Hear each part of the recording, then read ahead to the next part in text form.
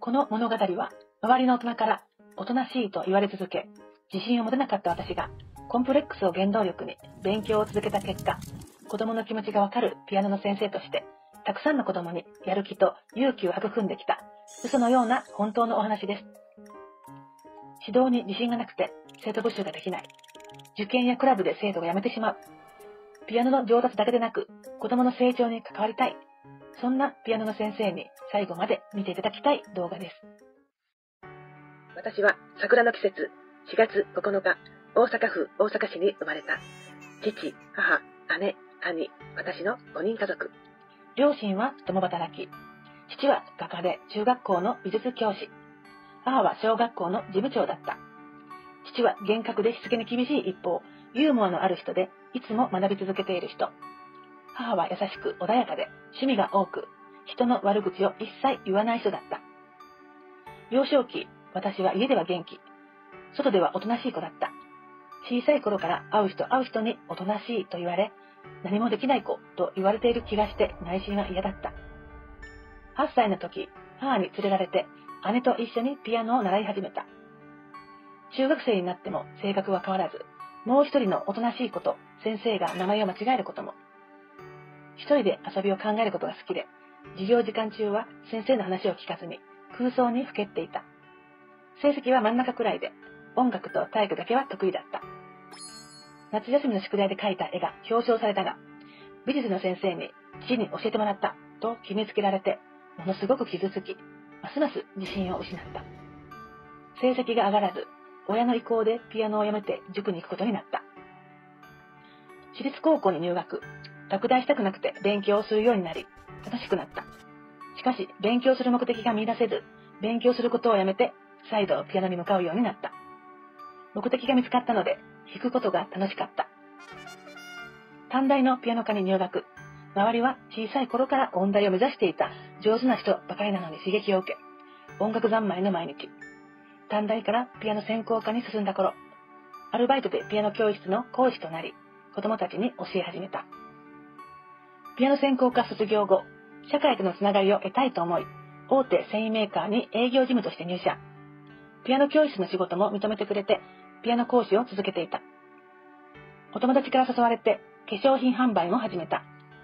自分が化粧品で綺麗になれた喜びを伝えたら、一月200万円売り上げて、新人賞も受賞した。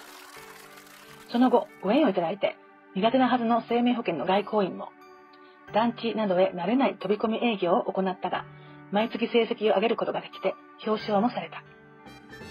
私はピアノに自信が持てなかったことから、会社に勤めながらも、休日を活かして楽器店のセミナー、ピアノ指導法、テキストセミナーなどの当時のあらゆる指導法を学んだ。そしてエレクトーンやドラムも教えるようになった。当時は先生が学んできた音楽の知識、技術、演奏表現を生徒に伝授するレッスンが主流。自分は習い始めたのも遅く、自信もないため、伝授するレッスンでは子供を伸ばせないと思った。学び続ける中で、ピアノの上達だけではなく、子供たちの人間形成にも関与できる指導法に出会った。30歳の時、独立してペースメソッド山田ピアノ教室を立ち上げた。そこからコーチングやアドラー心理学、コミュニケーション技術などを学び、自分独自の指導法を作り上げていった。37歳の時に結婚。41歳の頃から全国各地で指導法のセミナーを開催するようになった。ところが、独自の指導法をやり始めてみて、保護者からクレームの嵐が起きた。全然曲が弾けるようになっていない。譜面が全く読めない。など。セミナーを受講した先生からは、難しくてうまく指導ができない。それは単なる理想ですよね。など、次々と批判するような声が上がった。指導には時間がかかること。出来上がった演奏を真似させるのではなく、本人のやりたい気持ちから自然とできるようになることを説得し続けたが、保護者、先生ともに理解していただけなかった。そんな中、55歳の時、病気が発覚して21日間入院、手術。退院してからも抗がん剤治療が半年間続き、眠れない、食べられない日々で15キロも痩せた。闘病中も仲間の力を借りながら何とか仕事を続けた。私のやっていることは絶対に間違いないはず。でも、どうすれば理解してもらえるだろうか。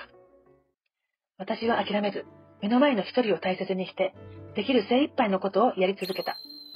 そうする中で、先生方の悩みを本気で解決したいと考えるようになっていった。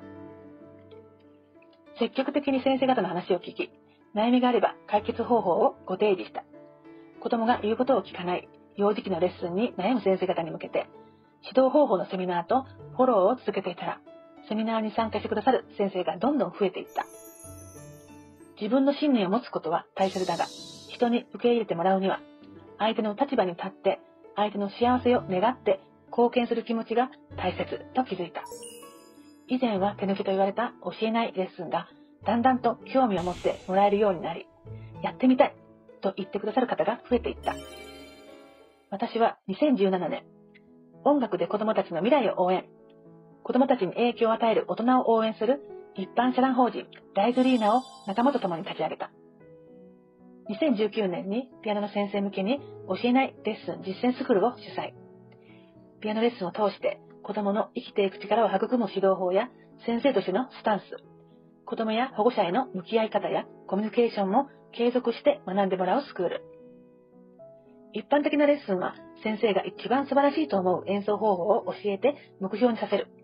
でも、楽譜の深い読み方がわかれば、どのように表現していくのかが子供でもわかる。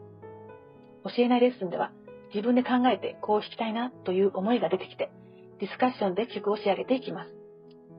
教えないから子供の個性と才能が花開きます。教えないレッス実践スクール0期は1名だったが、1期、2期、3期と次々と増え、現在では72名のピアノの先生が在籍している。